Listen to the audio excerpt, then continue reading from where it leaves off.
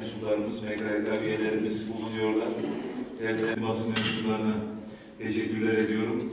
Ve bu vesileyle ve muhabbetle selamlıyorum. İnşallah toplantımız hayırlarınızı gerçekleştirdik.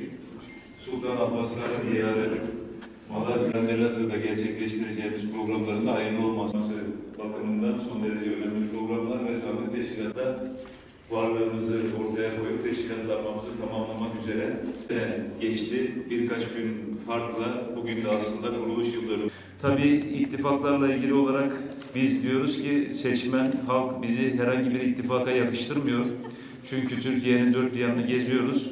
Bir dükkana, bir mağazaya giriyoruz. Diyor ki yani biz sizi takip ediyoruz, destek oluyoruz. Sağ olun, var olun ama Cumhur İttifakı'nda yer alırsanız, diğer bazı örneklerde olduğu gibi ismi lazım değil.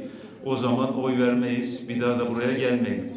O dükkandan çıkıp yandaki dükkana giriyoruz. Aynı güzel şeyleri söylüyor. O da diyor ki yalnız Millet İttifakı'na giderseniz malum bir örnekte olduğu gibi o zaman bir daha buraya gelmeyin.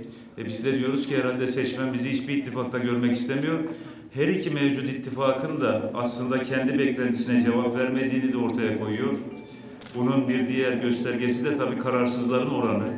Türkiye'de yapılan araştırmalar, anketler Türkiye'de seçmenin yüzde yirmiden fazlasının kararsızlar hanesinde olduğunu gösteriyor ki aslında belki de yeni bir ittifak beklentisinin olduğunu gösteriyor. Ve bizim parti olarak yaptığımız çalışmalarda şahit olduğumuzda dediğim gibi bizi herhangi bir ittifaka yakıştırmıyorlar.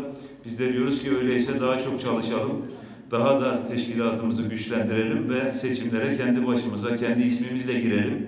Aslında şu anda gönlümüzde yatan asıl isteğimiz bu. Ama bu tabii ki hiçbir şekilde ittifak yapmayacağız deyip bir kırmızı çizgi çekmek manasına gelmiyor. Seçime daha yakın dönemde 3 ay veya 6 ay kala yeni kombinasyonların, yeni ittifak alternatiflerinin ortaya çıkması mümkün. Yeni partiler kuruluyor, mevcut partilerde, mevcut ittifaklarda bir takım değişiklikler olması mümkün. Bu tabloyu o zaman değerlendirip teşkilatlarımızla, yetkili kurullarımızla da istişareler yapıp bir karar verilecektir.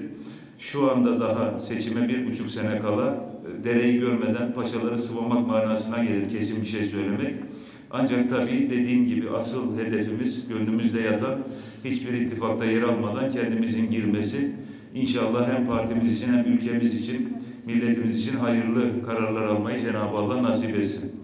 İşsizleri bir kenara bırakıp da iş bulabilen şans